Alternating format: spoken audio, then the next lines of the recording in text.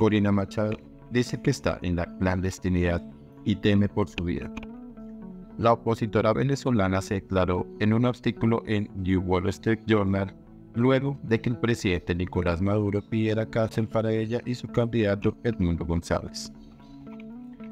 La opositora venezolana María Corina Machado se declaró en la clandestinidad por temor a su vida y su libertad en un artículo en The Wall Street Journal luego de que el presidente Nicolás Maduro pidiera cárcel para ella y su candidato Edmundo González Urrutia.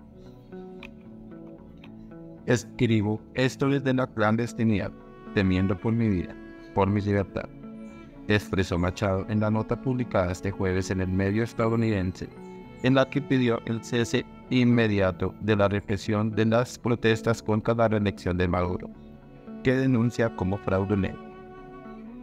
Una fuente en oposición confirmó a la AFP que la dirigente está en resguardo y que le hablará al país en las próximas horas.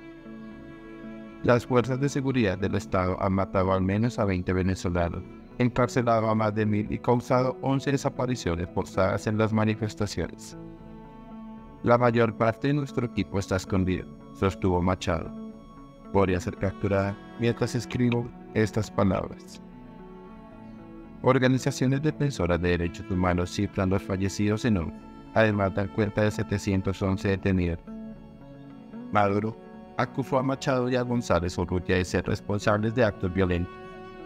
Ustedes tienen las manos manchadas de sangre, dijo el miércoles.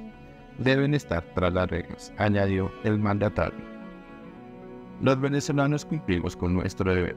Votamos para sacar del poder al señor Maduro Ahora corresponde a la comunidad internacional decidir si tolera o no un gobierno probadamente ilegítimo, escribió Machado. La represión debe cesar inmediatamente para lograr un acuerdo urgente que facilite la transición a la democracia. Llamo a todo el que rechaza el autoritarismo y apoya a la democracia a unirse al pueblo venezolano en esta noble causa. No vamos a descansar hasta ser libres, agregó. Tras los comicios del domingo, el Consejo Nacional Electoral CNE proclamó a Maduro reelecto para un tercer mandato de seis años, con 51% de los votos frente a 44% de González Urrutia.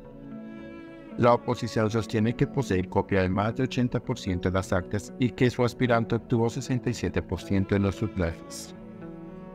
La última vez que Machado fue visto en público estaba junto a González Urrutia en una concentración opositora al Márquez al mediodía en Caracas.